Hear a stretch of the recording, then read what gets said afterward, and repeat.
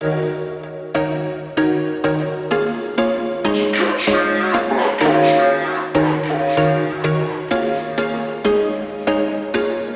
was once a day that I would pray for you. I'd go and misbehave just so you'd notice too. Sneaking looks up and down from across the room. And Damn, what a hell of a view. I feel good, you look great. I like you, I can't wait. A first time, a first date I drink straight Don't waste time to my place I feel my heart erase So catch me if I fall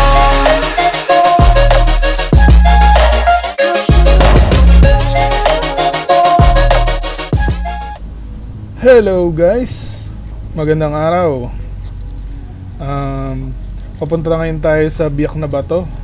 Binisita kasi tayo ng mga tropa nating padlock. Kaninang umaga, nagbike na sila papunta ng Biak na Bato. Medyo busy kami sa water station kaya after lunch pa kami nagpunta. Medyo tanghali na, pahapon na susundan natin sila doon and kailangan magdala may dala kaming mga food kami ang magluluto uh, ng dinner nila mukhang gutom na sila doon wala silang dalang food kasi inaasahan nila mga 1 pa lang nandun na kami time check pala 2pm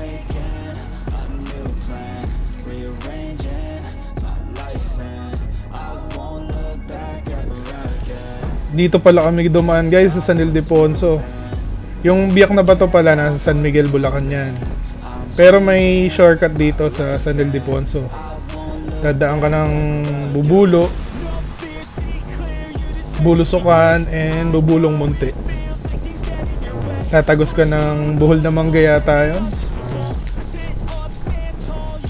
Pero Bubulong Munti din yan. Then malapit na sa Biak na Bato. Hindi na kami dadaan ng highway. Dito dito namin napilin dumaan kasi ang ganda ng view. Oh. Tingnan nyo naman. Sobrang dalang ng sasakyan kaya may enjoy nyo ang view.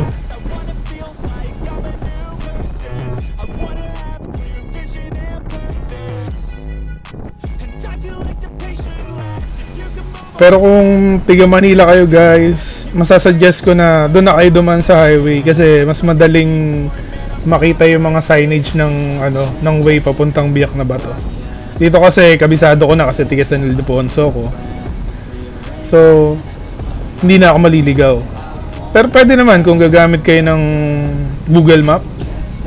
Um, may signal naman dito kaya may enjoy nyo din yung view. Yan, nandito na tayo sa Bubulong Malaki. Papasok ng Bulusukan. Sobrang enjoy lang yung ride namin. Chill ride. Yan. Yan, nandito na tayo guys sa Bubulong Munti. After ng Bubulong Munti ay lulusot na tayo sa Biak na Bato.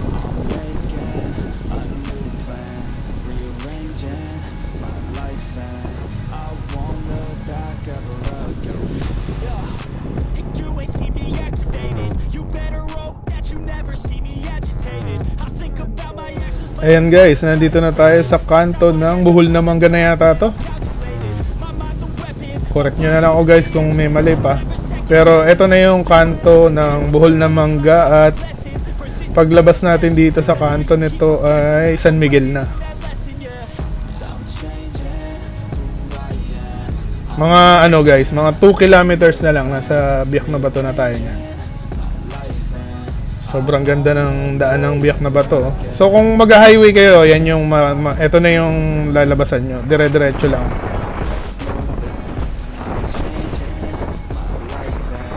Ayan, 2 kilometers bago magbiyak na bato.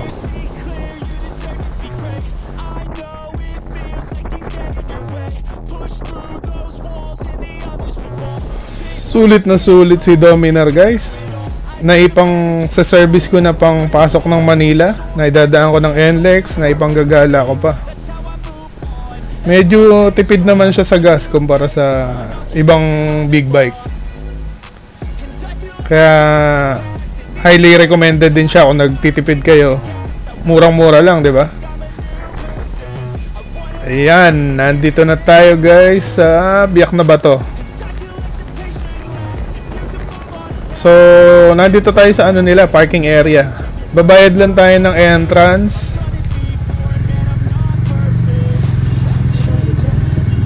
Ayan. Ang entrance pala nila guys ay 100 per head. Yung overnight yon.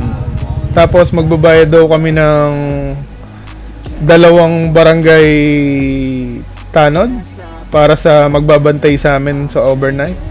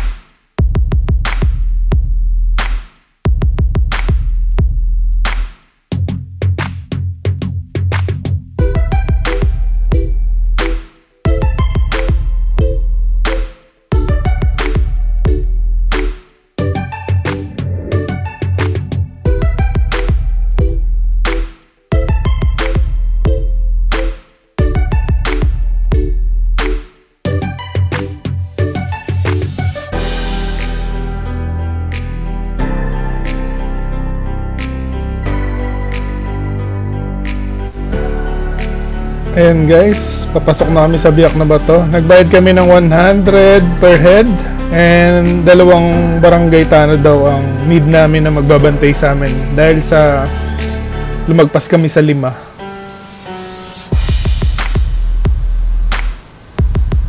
Sobrang ganda dito guys oh. According pala sa research ko guys, ang biyak na bato ay may sukat na 2,000 plus hectares. And ang na-explored pa lang na cave dito ay 17. So marami pang kailangan na explored. And according sa history, dito lumipat ng hideout si Emilio Aguinaldo nung nasurround yung base nila sa Talisay, Batangas. Dito sila nag-hideout. Isa sa kuweba dito, kuweba dito sa Biak na Bato ang ginawa nilang hideout. Okay guys, pe-prepare ko na ang dala kong puluts. Kanina, nagpakulo na pala ako sa pressure cooker ng pangpapaitan. Para naman dito, isasangkot ko na lang and then konting kulo. Pwede, pwede ng puluts. Mukhang gutom na ang tropang padlock natin. Kaya, pe-prepare ko na. Masarap na masarap ang puluts na may sabaw guys. Pampahaba ng inuman.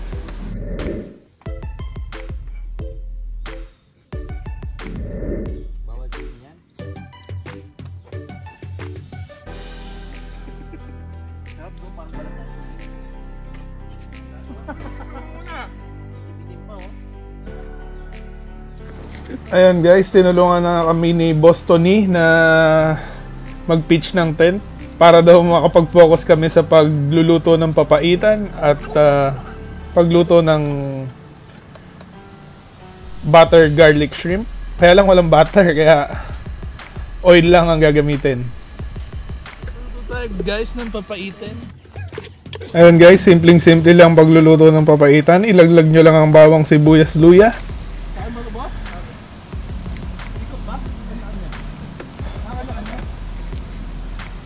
Pag nag-caramelize, ilagay nyo na ang papaitan. Ah, napakasarap. Lasang dalawa ba? Sabi, bigyan mo ng mushroom. Ang lasa na ito, nilagyan ko ng ano yung kamyas. Asap yung kamyas ah. Pinakol. Ayan guys, lalagyan nyo lang ng patis para magkalasa ang inyong papaitan. Sasangkotyan nyo lang, parang pinola. Or parang sinampalukan. Ayan. Ilalagay nyo na ang sili. Kaya papaitan. Wala tayong takip, kaya hayaan lang nating kumulo.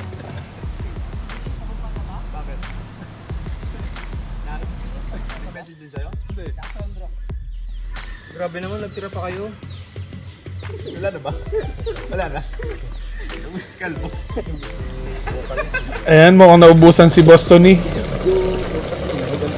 Ayan guys, kumukulo na. Pwede nyo nang ilagay ang broth na sinet aside.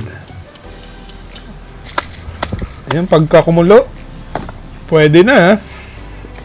May tanpulots na.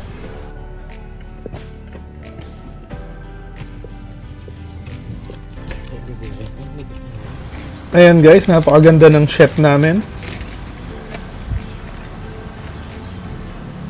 Magluluto daw si Ani ng shrimp. Garlic shrimp. Walang butter. eh.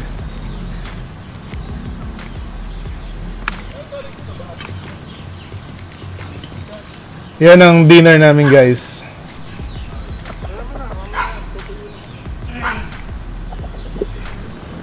Kulang-kulang yung mga gamit namin kaya ini-improvise lang namin guys. Ganyan lang pag nasa outdoor kayo. Kung ano yung available, yun na yung gagamitin nyo. Maluluto din yan sa sikmura nyo. Oo, isang angat nga dyan, boss pre. Huwag mo nang lagyan yan, Lot. Hindi ka rin naman makakasampa mamaya. Baba ka na maglatag. Tama ka dyan. Ayun, ayun mo yung mga damo, yung dahon-dahon. Combi pala sa dami-damon. Inaasahan mo makakasampa ka mamaya. Hindi na. Buhating na namin mga Diyan ka rin naman sa mga Mga down-down bahay dyan. kubo, oh, lot. Lipat mo yung ano mo, yung hamok na sa kubo, oh.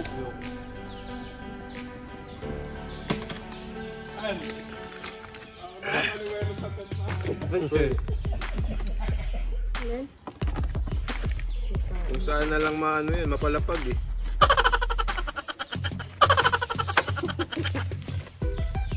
Ayos-ayos ka pa ng tent, hindi ka naman makakasampa dyan mamaya. Video call ko nga si ko kung sasagot. Video call mo. Video call mo, video call mo. Lasing na yan. At napasarap na nga kami ng kwentuhan guys. Mahaba-habang tagayan.